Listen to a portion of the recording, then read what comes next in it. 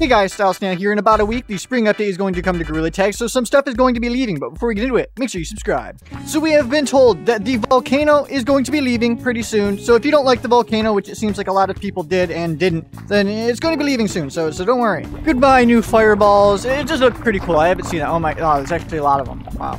Alright, well, uh, goodbye, Volcano. And as well as that, the Valentine's Day stuff is going to be leaving, so these different, like, heart structures are going to be gone as well. So if you enjoy some, some water balloons coming out of these, then take them while you can.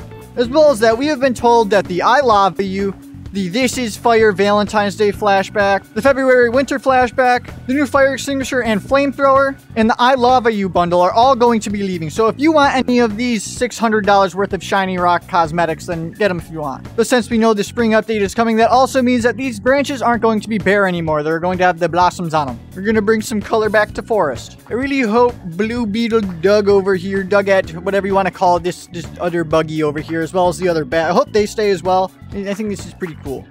Yeah, I got, I got, I got your girlfriend. Haha, still your girl. But that's gonna be this video. If you guys enjoyed, leave a like, comment, subscribe to the Discord down below. And see you guys in the next video. Goodbye.